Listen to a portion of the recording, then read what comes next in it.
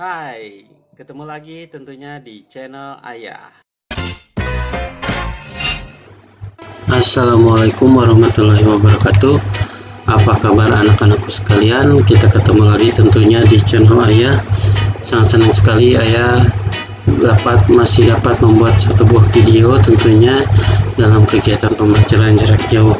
Nah anak-anakku sekalian pada materi kali ini Ayah ingin berbagi mengenai materi baru tentunya mengenai klasifikasi arsip dan indeks arsip. Tentu saja nanti akan sambil kita saksikan uh, video pembelajaran kita ini menggunakan animasi secara tertulis. Uh, mudah-mudahan kalian bisa mengikuti tentunya. Baik kita langsung saja tanpa berpanjang lebar serta berlama-lama. Selamat menyaksikan dan mari kita belajar bersama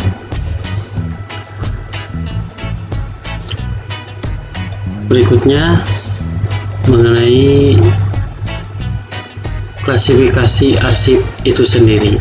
Kira-kira anak-anak adakah yang sudah mengetahui apa itu klasifikasi arsip? Klasifikasi arsip adalah pola pengaturan arsip secara berjenjang dari hasil pelaksanaan fungsi dan tugas instansi menjadi beberapa kategori unit informasi kearsipan tentunya.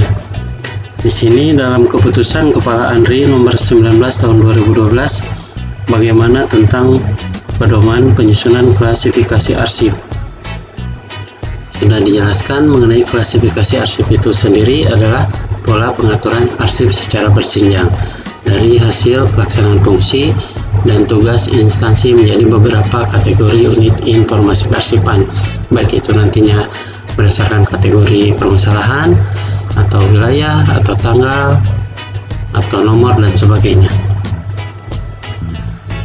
berikutnya mengenai klasifikasi arsip itu sendiri menurut Sayuti pada tahun 2013 kegunaan pola klasifikasi yang pertama adalah membantu dalam menentukan golongan dan tingkat masalah yang terkandung dalam arsip sehingga kita dapat menentukan golongan beserta tingkat masalahnya.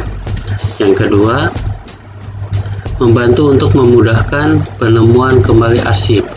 Nah, dengan adanya klasifikasi arsip, kita akan lebih mudah untuk menemukan kembali arsip eh, berdasarkan baik itu tanggal, kemudian permasalahan atau subjek, kemudian berdasarkan wilayah, berdasarkan nomor, dan tentu saja yang paling sering kita gunakan pada umumnya berdasarkan abjad. Selanjutnya yang ketiga, masih menurut Sayuti, kegunaan pola klasifikasi adalah sebagai alat penataan dalam berkas atau filing system.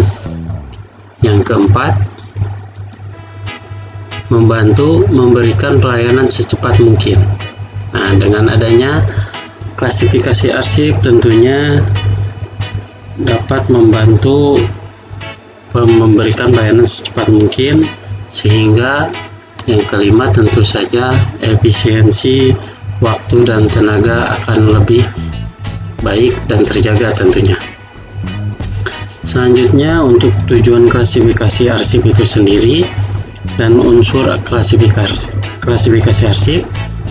Yang pertama, Bapak akan menjelaskan mengenai tujuan dari klasifikasi arsip.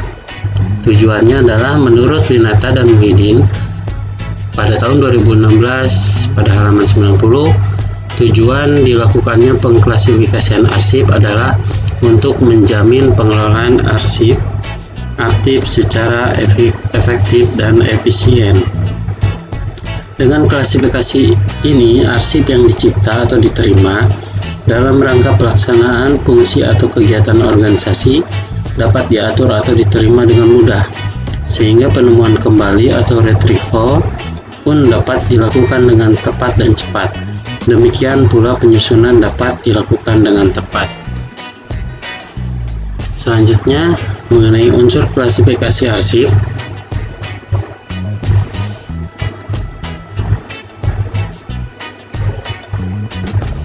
Dalam rangka menyusun klasifikasi arsip, ada beberapa aspek yang perlu dipertimbangkan. Yang pertama adalah kelompok informasi arsip. Kelompok informasi arsip itu terdiri kebagi ke dalam tiga bagian. Yang pertama adalah unsur fungsi, yaitu penyusunan pola klasifikasi arsip berdasarkan inventarisasi kegiatan atau fungsi-fungsi yang dilaksanakan oleh suatu organisasi. Misalnya dilihat dari uraian tugas unit pegawai. Kemudian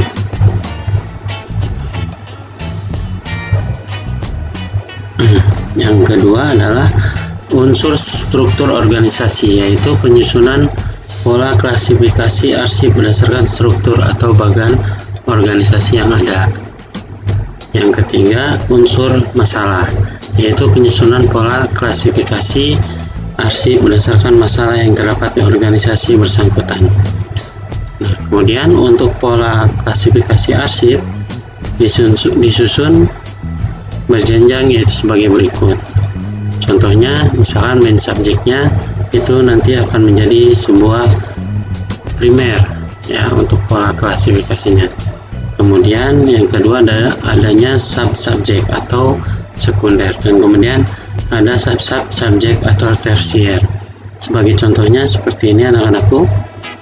Ketika kelompok ini mempunyai hubungan logis, kronologis, dan sistematis, satu sama lainnya, misalnya kelompok kepegawaian harus mengandung masalah mengenai kepegawaian saja.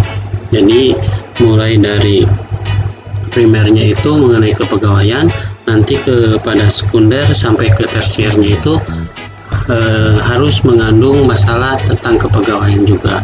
Sebagai contohnya sebagai berikut.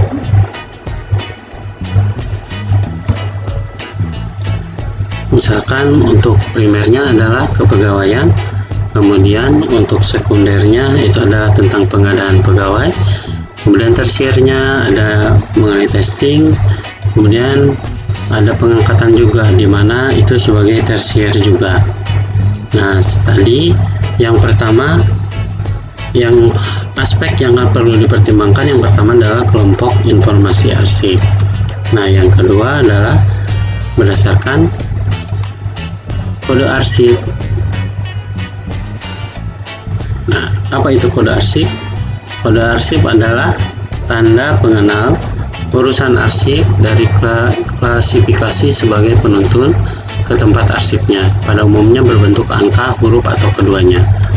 Nah, kode atau sering kali kita lebih mengenalnya dengan mengkode ya nantinya. Nah, selanjutnya terdapat kegunaan dari kode arsip. Ya. Setiap surat yang akan diberkaskan diberi kode, kemudian klas, eh, klasifikasi terlebih dahulu sesuai dengan kode klasifikasinya. Kemudian untuk guna kode arsip terdapat dua anak-anakku yaitu yang pertama adalah untuk membedakan urusan masalah yang satu dengan urusan masalah lainnya dalam berbagai jenjang klasifikasi arsip kemudian selanjutnya yang kedua adalah merupakan saran untuk memberkaskan arsip dan menentukan letak penyimpanan serta penemuannya kembali.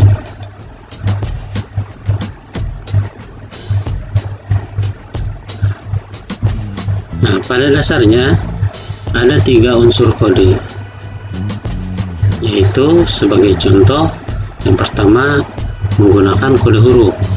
Kode huruf ini terbagi ke dalam beberapa contoh atau beberapa klasifikasi, yaitu yang pertama satuan huruf atau huruf tunggal.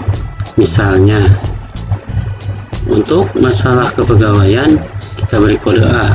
Untuk masalah tentang keuangan kita beri kode B. Untuk masalah material kita beri kode C atau seterusnya kita memberikan kode D, E, F dan seterusnya. Atau juga penggunaannya yaitu menggunakan huruf ganda.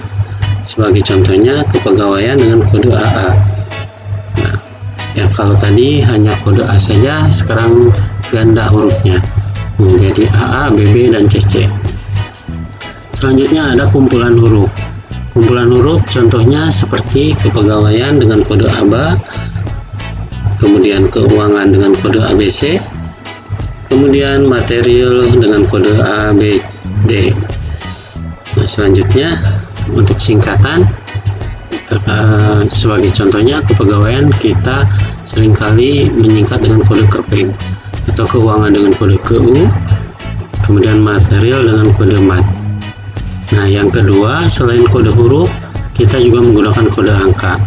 Untuk urutan angka 1 sampai dengan tak terbatas misalkan kepegawaian kodenya 1 keuangan contohnya kode 2 kemudian material kode 3 nah kemudian ada juga dengan menggunakan gabungan angka. Umumnya terdiri dari dua angka misalkan 11 12 13 dan seterusnya. Kemudian ada juga dengan angka duplex ialah kumpulan kesatuan angka yang masing-masing dipisahkan dengan garis miring atau garis datar atau titik atau koma. Sebagai contoh misalnya 01 strip 10 strip 90 01 titik 1090 01 garis miring 10 garis miring 90 Nah, kemudian ada juga penggunaan angka itu dengan desimal, yaitu menggunakan sistem persepuluhan. Contohnya 351 kepegawaian, kemudian 351.1 pengadaan, 351.2 pengadaan dan mutasi dan seterusnya. Atau juga kita kenal dengan digit untuk angka itu atau terminal digit deretan angka yang pada umumnya diuraikan ke dalam tiga bagian dan masing-masing bagian menunjukkan tempat penyimpanan. Misalnya kode 102089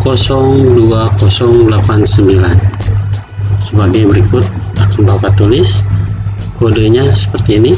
Berarti artinya 10 adalah lembar guide kemudian 20 adalah nomor laci dan 89 adalah nomor map jadi ketika nanti kalian menemukan kode arsip dengan contoh menggunakan digit atau terminal digit yaitu dengan 10 20 89 itu bukan hanya nomor biasa saja ya.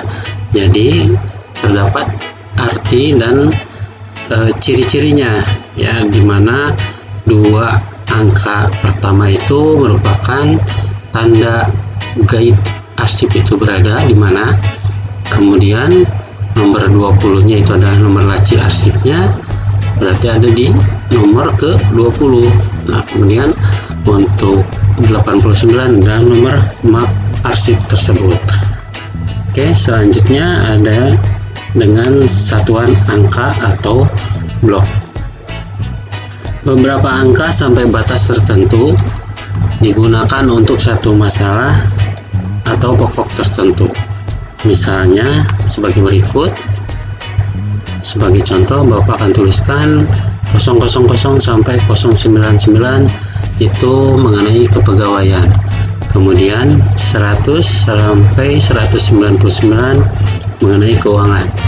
Selanjutnya 200 sampai 299 mengenai material. Jadi nanti ketika ada arsip yang berdasarkan satuan angka blok tersebut misalkan dari 00 sampai 99 itu berarti arsip tersebut mengenai tentang kepegawaian. Baik itu nantinya nomor 010 011 dan seterusnya. Ya. kemudian yang terakhir adanya gabungan huruf dan angka misalkan Bapak contohkan A titik 1 B titik 2 kodenya atau AA B 11 atau kepeg titik 10 untuk pemberian kode pada arsip dapat atau boleh menggabungkan antara angka dan huruf sesuai dengan uraian yang ada tentunya. Nah, selanjutnya bagaimana cara penyusunan klasifikasi? Menurut Gunawan Ariwibowo tahun 2012, cara penyusunan klasifikasi arsip adalah sebagai berikut. Yang pertama, melakukan analisis fungsi organisasi untuk mengetahui arsip apa yang tercipta dalam suatu fungsi organisasi.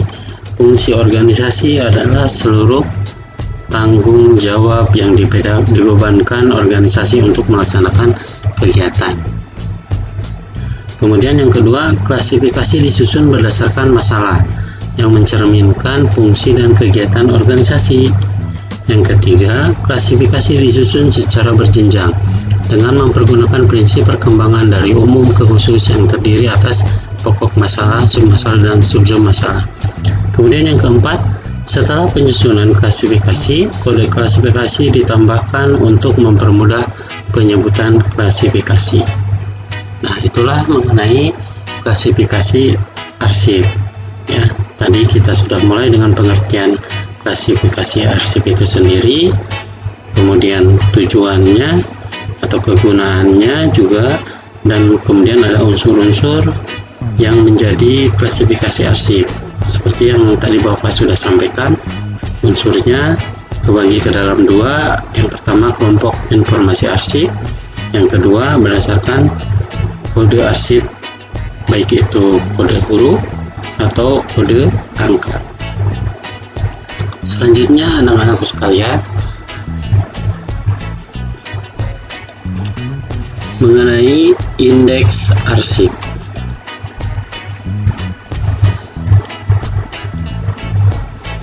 kita mulai seperti biasa dengan pengertian indeks arsip itu sendiri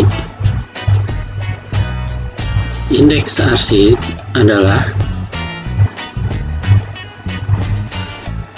suatu label yang digunakan dalam menentukan kode arsip untuk memudahkan dalam proses penyimpanan arsip. Kemudian, kegunaannya itu sendiri antara lain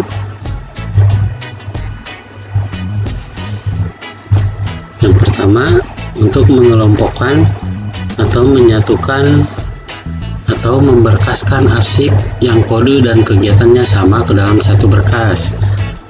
Jadi, arsip tersebut nanti akan lebih mudah untuk dikelompokkan atau disatukan berdasarkan permasalahannya pada biasanya atau berdasarkan klasifikasinya sehingga menjadi dalam satu berkas. Kemudian yang kedua tentu saja sebagai sarana penemuan kembali arsip tersebut. Nah, di dalam indeks arsip kita mengenal jenis penulisan indeks.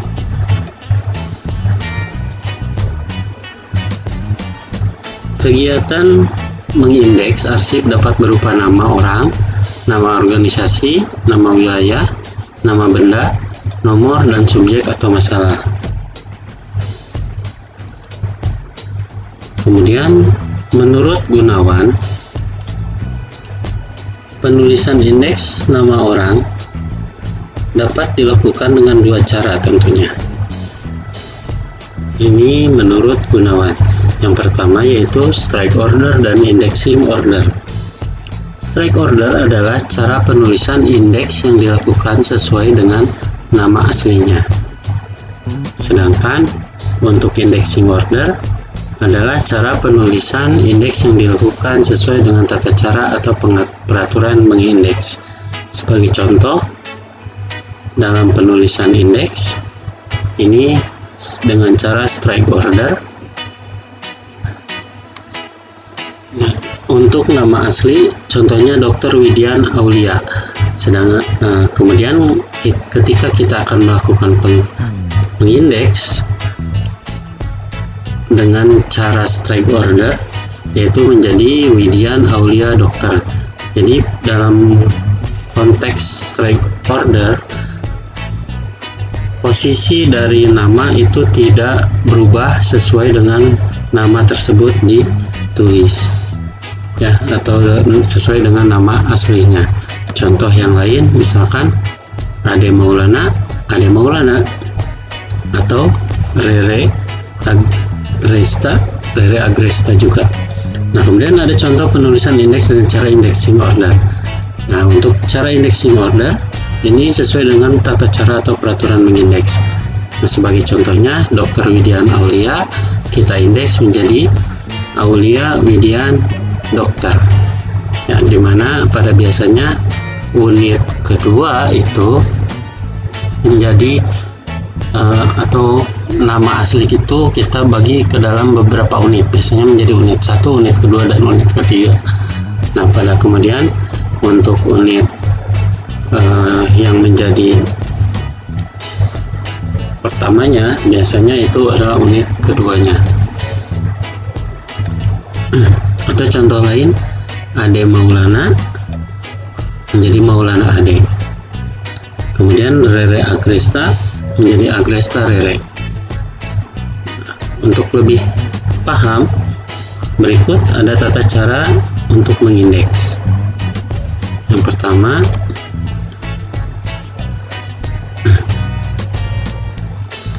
berdasarkan Greg et al. dan Reed Engine Penulisan indeks dilakukan dengan memperhatikan aturan-aturan yang berlaku agar diperoleh keseragaman, sehingga pengelolaan arsip dapat dilakukan dengan baik. Berikut adalah beberapa aturan dalam mengindeks. Yang pertama, cara mengindeks nama orang.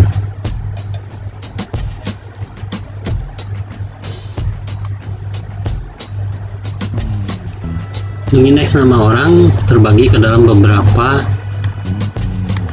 dalam beberapa jenis yaitu ada 10 yang pertama adalah e, nama biasa yaitu yang tidak termasuk golongan nama keluarga atau marga. Nama seperti itu diindeks sebagaimana nama tersebut ditulis sesuai nama aslinya ya dengan e, atau lebih tadi dikenal dengan istilah adalah strike order sebagai contoh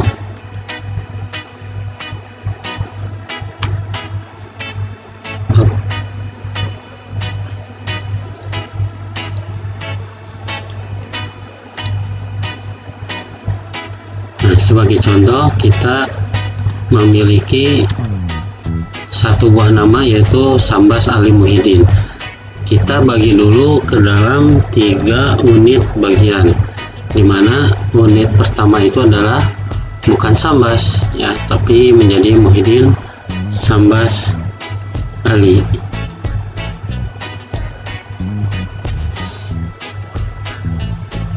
But sorry uh, mohon maaf anak-anakku.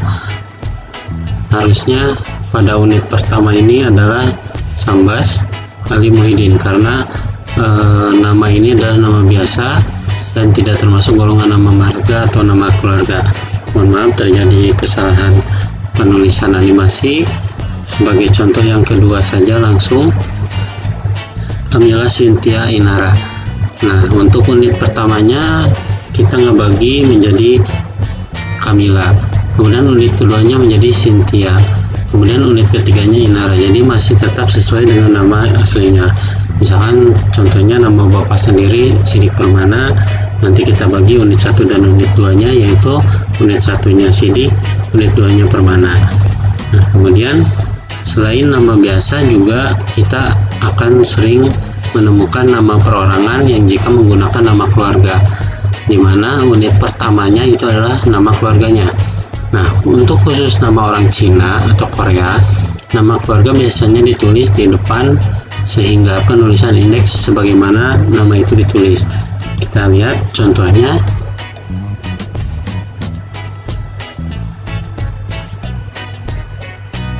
Sebagai berikut di mana filling segment kita buatkan kemudian indeks yang order unitnya kita buatkan juga bagi ke dalam tiga unit. Nah sebagai contoh satu buah nama George R. Terry Nah, kita bagi ke dalam tiga unit yang di mana unit pertamanya ini adalah Terry. Nah, biasanya kan nama uh, untuk nama asing perorangan itu nama keluarganya ada di belakang. Sehingga yang tadinya harusnya menjadi unit ketiga Terry itu tapi menjadi unit pertama ditulis di unit pertama kemudian unit keduanya merupakan nama depannya George kemudian unit ketiganya adalah nama tengahnya R. Selanjutnya sebagai contoh misalkan nama orang Cina karena pada biasanya untuk nama orang Cina atau Korea itu nama keluarganya biasanya ditulis di di depan. Misalkan Lim Sui King unit pertamanya menjadi tetap Lim unit keduanya Sui unit ketiganya King atau misalkan nama Korea seperti Kang Sora misalkan ya itu nama biasanya nama keluarganya itu Kang. Nama keluarga Kang kemudian unit unit pertamanya itu Kang unit keduanya So unit ketiganya Ra. Nah selanjutnya yang ketiga, untuk nama perorangan juga jika menggunakan nama marga sebagai salah satu unit nama orang tersebut, maka unit pertamanya adalah nama marganya. Sebagai contohnya, misalkan Abdul Haris Nasution. Nah, untuk Abdul Haris Haris Nasution itu karena nama marganya adalah marga Nasution, sehingga di nah, nama marga tersebut diletakkan di unit pertama. Kemudian unit keduanya Abdul kemudian unit ketiganya Haris. Nah, kemudian yang contoh yang lainnya adalah Pierre Tandean. Nama marganya Tan Tandean kemudian unit keduanya adalah Pierre. Selanjutnya yang keempat nama perorangan jika menggunakan nama baptis. Yang digunakan adalah nama aslinya atau nama jelasnya. Contoh biasanya eh, orang-orang mohon maaf non muslim atau Nasrani biasanya memiliki nama baptis. Nah contoh seperti ini Franciscus Sutopo di mana nama baptisnya itu adalah Franciscus. Nah pada pada pada teknik cara untuk mengindeks ini di mana nama aslinya itu buk yang diambil menjadi unit pertama bukan nama baptisnya. Nama baptisnya itu menjadi unit kedua. Jadi contohnya seperti yang tampil di dalam layar kaca unit pertama yaitu Sutopo unit kedua adalah Franciscus. Kemudian yang kedua contoh lain adalah Antonio Sukoco jadi untuk unit pertamanya adalah Sukoco dan unit keduanya adalah Antonius. Yang kelima Nah, apabila nama perorangannya jika disingkat, maka yang dipakai adalah nama jelasnya. Sebagai contoh,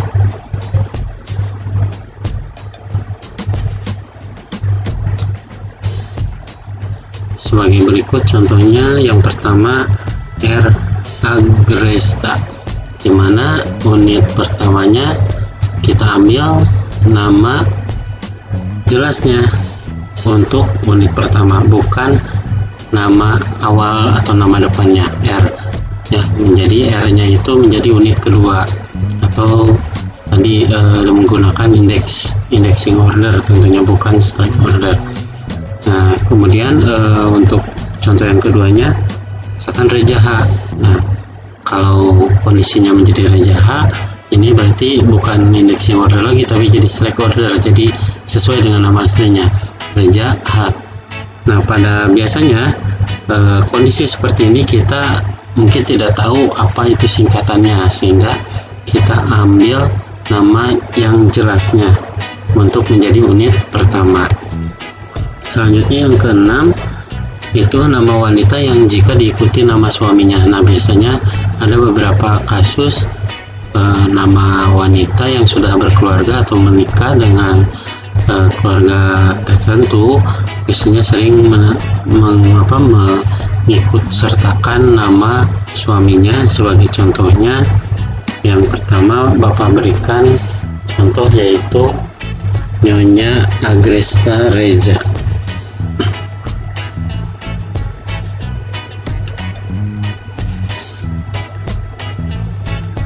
Nah untuk kasus seperti ini eh, nyonya itu nantinya akan menjadi unit ketiga. Sedangkan untuk unit pertamanya adalah Reza. Jadi yang digunakan ya nama suaminya karena nama suaminya adalah Pak Reza. Jadi Ibu Agresta menikah dengan Bapak Reza. Nah untuk yang menjadi unit pertamanya ingat menjadi nama suaminya. Nah contoh lain yang kedua misalkan seperti ini. Aulia Kartadipura. Yang menjadi unit pertamanya adalah Karti eh Karta Divora kemudian unit keduanya adalah Aulia. Selanjutnya yang ketujuh adalah nama perorangan jika memakai gelar adat, gelar keragaman, gelar kesarjanaan, atau gelar yang berwujud kepangkatan. Gelarnya tidak diperhatikan dan nama orang tersebut diindeks sesuai dengan pengaturan mengindeks. Sebagai contoh, RA Kartini ya. Meskipun kita tahu RA Kartini adalah Raden Ajeng Kartini kita bagi menjadi dua unit tidak menjadi tiga unit ya. Uh, unit pertamanya adalah nama yang jelasnya karena Raden Ajeng itu adalah gelar ya. Jadi tidak dijadikan unit pertama. Sebagai contoh lagi yang lainnya misalkan dokter RM Nurrahim ya. Sebagai unit ke pertamanya bukan RM atau bukan dokter tapi Nurrahim ya atau contoh yang lain misalkan ada Kapten Jono. Nah Kapten itu kan berarti gelar atau kepangkatan sehingga yang menjadi unit pertamanya itu adalah Jono bukan Kapten. Nah selanjutnya yang kedelapan adalah nama urutan kelahiran seperti di Bali. Unit utamanya adalah nama diri kemudian diikuti oleh gelar urutan kelahiran biasanya. Nah, sebagai contoh, Bapak buat tampilan segmennya, kemudian Bapak bagi unit 1, unit 2, 3 nya. Nah, sebagai contoh yang pertama adalah ini. Ida Bayu Putu Arsana. Nah, di Bali itu nama dari nama unit nama utamanya adalah nama nama dirinya ya bu uh, bukan Ida Bayu Ida Bayu itu bukan nama dari diri tapi nama urutan kelahiran biasanya di Bali. Jadi sehingga Arsana itu menjadi unit pertamanya. Unit keduanya adalah Putu. Unit ketiganya adalah Ida Bayu atau contoh yang lainnya adalah Imade Putu Wirawan. Nah seperti ini uh, tetap yang menjadi unit pertamanya adalah nama diri dari orang tersebut yaitu wirawan oke yang ke sembilan adalah apabila nama semua tanda baca koma titik tanda hubung apostrof tanda hubung tanda seru tanda tanya tanda kutip garis bawah dan garis miring diabaikan ketika mengindeks. Contohnya dalam peraturannya seperti berikut. Bapak tuliskan sebagai contoh satu misalkan namanya adalah Michael de Agustino nah kita lihat dalam penulisan Michael de Agustino itu menggunakan tanda petik ya. Tanda petik eh, pada kata de Agustino nah untuk cara mengindeksnya tanda petik tersebut kita hilangkan ya. Misalkan eh, menjadi de Agustino nah itu diambil menjadi unit pertama. Kemudian unit ke keduanya adalah Michael. Ingat ini kondisinya nama dari Michael D'Agostino itu adalah nama nama perorangan yang nama keluarga menggunakan nama keluarga yaitu D'Agostino atau contoh yang lain adalah Penelope de Cruz. Nah menjadi unit pertamanya de Cruz Penelope. Kemudian yang terakhir adalah nama asing yang memakai awalan seperti de da de del la de la den des di do du e elvis ilalas leles los nemek MCO persen dan seterusnya dan sebagainya banyak ya. Awalan tersebut tidak dianggap sebagai unit sendiri atau tergabung dengan nama sisanya menjadi satu unit. Sebagai contoh Bapak akan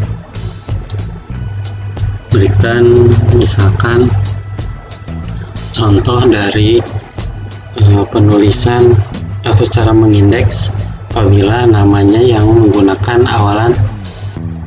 Misalkan yang pertama Oscar de la Hoya. Nah, ya untuk unit pertamanya kita tidak tidak mengambil uh, Hoya saja tapi kita gabung menjadi de la Hoya.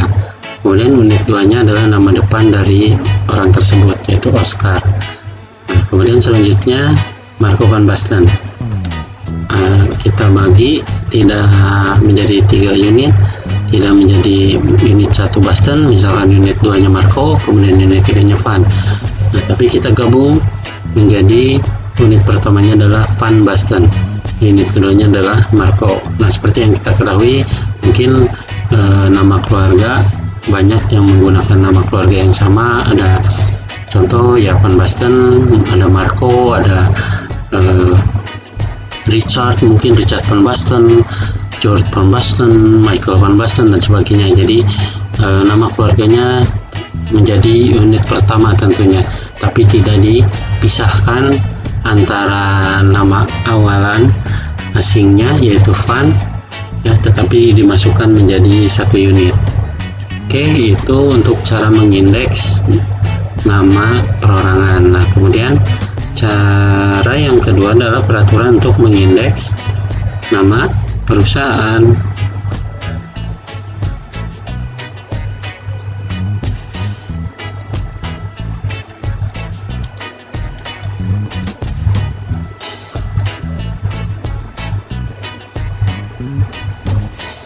Oke, ada yang terlewat, mohon maaf di animasinya ini sebagai gambaran saja. Kita ulangi. Uh, untuk yang pertama itu adalah nama perusahaan atau organisasi di indeks sebagaimana yang tertulis dengan kepala surat atau merek dagang yang tertulis. Sebagai contohnya, misalkan Persatuan Wartawan Indonesia. Nah, itu kita bagi ke dalam tiga unit. Misalkan unit pertamanya kita mengambil wartawan. Unit keduanya adalah Indonesia. Unit ketiganya adalah Persatuan. Atau contoh yang lainnya Ikatan Dokter Indonesia. Jadi untuk unit pertamanya kita ambil dokter unit keduanya Indonesia unit ketiganya ikatan atau contoh lain lagi PT Pos Indonesia unit pertamanya Pos unit keduanya Indonesia unit ketiganya adalah PT nah kita langsung berarti ke yang kedua adalah nama organisasi sering disingkat dan sudah populer dengan nama singkatannya tidak perlu dipanjangkan di indeks seperti yang tertulis Nah, contohnya seperti ini. Seperti yang sudah kita ketahui, nama istilah atau nama lembaga MPR. Nah, kita sudah tahu MPR itu singkatan dari apa. Ya, jadi sudah sering diketahui oleh orang-orang dan sudah populer tentunya sehingga untuk pengindeksannya itu adalah e, kita bagi ke dalam tiga unit, unit 1, 2, dan 3 di mana langsung saja kita tulis MPR atau boleh nantinya kita uh, panjangkan kalau kita ketahui menjadi majelis permusyawaratan rakyat. Itu contoh yang kedua UPI nah kita boleh unit satunya UPI langsung atau uh, mau dipisah seperti UPI atau Universitas Pendidikan Indonesia.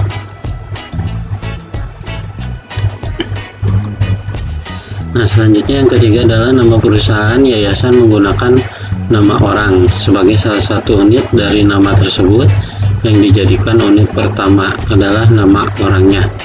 Dan nama orang tersebut diindeks sesuai dengan pengaturan mengindeks sebagai contoh kita mengenal dengan rumah sakit Hasan Sadikin. Nah untuk kondisi seperti ini yang kita ambil unit pertamanya adalah Hasan unit keduanya adalah Sadikin dan unit ketiganya adalah rumah sakit. Kita gabung menjadi tiga unit eh, mohon maaf menjadi satu unit di dalam unit ketiga yaitu rumah sakit atau contoh yang lainnya ayam goreng Suharti nah Suharti keduanya adalah ayam goreng. Kemudian yang keempat adalah nama perusahaan yang terdiri atas nama angka sebagai bagian dari nama perusahaan tersebut. diindeks dengan cara mengganti angka dengan huruf sebagai satu unit. Nah sebagai contoh nama perusahaannya adalah Seven Day Market.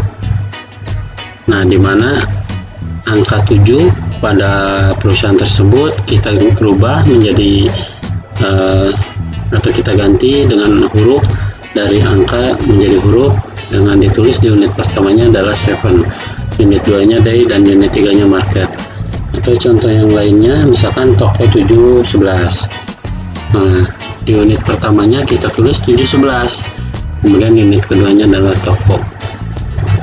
Atau misalkan 21 movie nah ini biasanya kalau 21 movie 21 nya kita tulis dalam penulisan bahasa Inggris biasanya 21 kemudian unit keduanya adalah movie. Nah kemudian yang kelima adalah nama perusahaan yang menggunakan kata-kata kecil dan simbol seperti artikel, preposition, conjunction, and symbol. Nah ditulis sebagai unit terpisah dalam pengindekannya contoh kata-kata kecil dan simbol yang digunakan sebagai nama bisnis misalkan seperti A and the ya, atau simbol dan dolar pagar dan sebagainya. Nah sebagai contoh misalkan perusahaan A&A Drilling ya. Di sini eh, kalian bisa membagi unit 4 unit mohon maaf ini tidak muncul semuanya. Harusnya muncul 4 unit. Unit pertama itu adalah E unit keduanya adalah N. Nah simbol dari huruf dan ini kita ganti menjadi huruf. E, dari simbol menjadi huruf N. Unit ketiganya E lagi. Kemudian unit keempatnya adalah drilling ya. Atau contoh lainnya yang kedua adalah the dollar shop nah selanjutnya untuk semua tanda baca koma titik tanda hubung apostrof tanda hubung tanda seru tanda tanya kemudian tanda kutip garis bawah dan garis miring diabaikan ketika mengindeks. Ya nama-nama di indeks mengikuti peraturan mengindeks. Sebagai contoh Bandara Soekarno-Hatta nah kita bagi ke dalam dua unit jadi tidak tiga unit ya tapi ke dua unit. Tapi tanda bacanya itu kita hilangkan menjadi satu unit. Menjadi Soekarno-Hatta unit 2 nya adalah bandara. Contoh lainnya adalah perusahaan Inter Asia Service. Ya kita gabungkan Inter Asianya kemudian unit 2 nya adalah service selanjutnya yang ketiga cara mengindeks nama instansi atau pemerintahan. Ini kebagi ke dalam dua di mana yang pertama adalah nama instansi yang diutamakan adalah kata pengenal yang terpenting dari nama instansi tersebut. Sedangkan bentuk organisasinya dijadikan sebagai unit terakhir. Ya sebagai contoh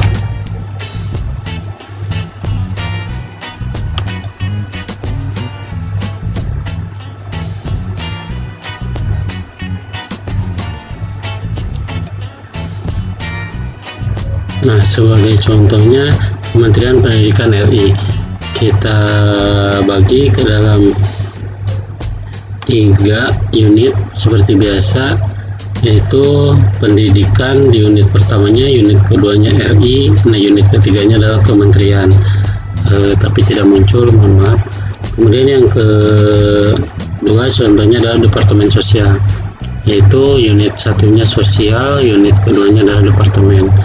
Nah, kemudian yang terakhir adalah beberapa instansi pemerintah atau nama wilayah yang diutamakan adalah nama tempat atau daerah sebagai kemudian diikuti oleh bentuk kata tingkat badannya. Contohnya, misalkan kota Bandung. Itu unit pertamanya Bandung, unit keduanya adalah kota. Contoh lain Provinsi Jawa Barat, contoh lainnya adalah provinsi Jawa Barat. Kemudian unit pertamanya Jawa unit keduanya Barat unit ketiganya Provinsi. Nah baiklah anak-anakku sekalian terima kasih atas perhatian dan tentu saja waktunya juga telah menyaksikan video Bapak. Semoga apa yang Bapak sampaikan dapat kalian ikuti dan dapat kalian pelajari secara mandiri. Tetap semangat meskipun kita masih dalam keadaan belajar secara jarak jauh tentu saja jangan pernah lelah untuk belajar. Terima kasih sampai ketemu lagi di video-video berikutnya. Mohon maaf jika masih banyak kekurangan dan permasalahan-permasalahan dalam pembuatan video ayah tentunya uh, mudah-mudahan ayah masih tetap terus bisa membuat satu buah video yang dapat dimengerti tentunya dalam pembelajaran kalian. Terima kasih. Wassalamualaikum warahmatullahi wabarakatuh.